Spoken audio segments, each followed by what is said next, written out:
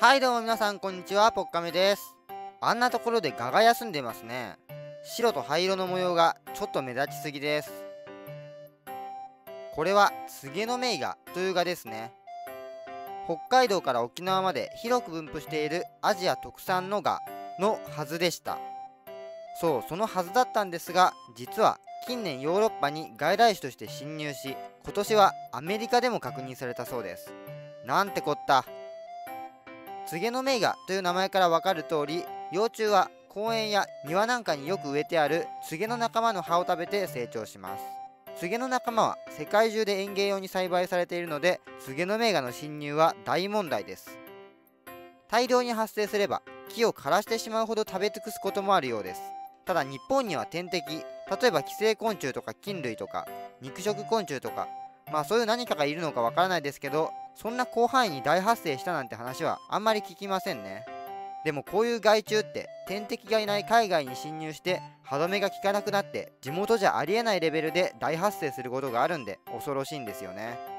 ちなみにツゲの仲間は一般的に英語でボックスツリーと言いますがこの側ボックスツリーモスと呼ばれて適地されてます。今後アメリカでも広がってしまうのかどうか注目ですね。とはいえ成虫はこのようにとても美しい姿をしています。羽の付け根から先までは2から2.5センチ。だから全体の幅は5センチくらいですね。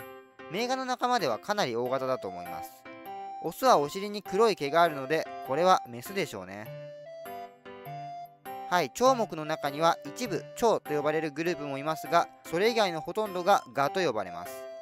蝶とガに分けられるというよりは蝶とは呼ばれないその他がまとめてガと呼ばれているという感じですね。名画浄化は小型種が多くて害虫として以外はあんまり知名度がありませんが世界で1万6000種を超えるほど多くの種が見つかっている多種多様なグループです。名画浄化にはツトガ科と名画科がありますがどちらに含まれるのかまだよく分かってない種も多くて分類は流動的です。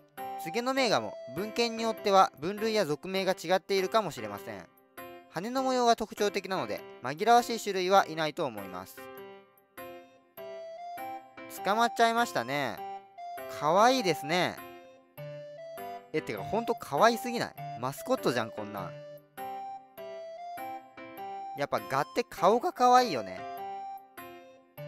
もうそんな目で見られたら逃がしてあげたくなっちゃうけどもう少し観察させて。お腹もプリップリで可愛らしいです。模様も派手すぎず地味すぎずいい線ついてるよね。センスあるなこの子。ただこれでも国際指名手配の害虫です。悲しいね。人間が悪いんだけどね。はいというわけで今回は可愛いけども海外への輸入種として注目されているツゲノメイガを紹介しました。このチャンネルでは身近な可愛い生き物をどんどん取り上げていきます。是非チャンネル登録をよろしくお願いします。それではまた次の動画でお会いしましょう。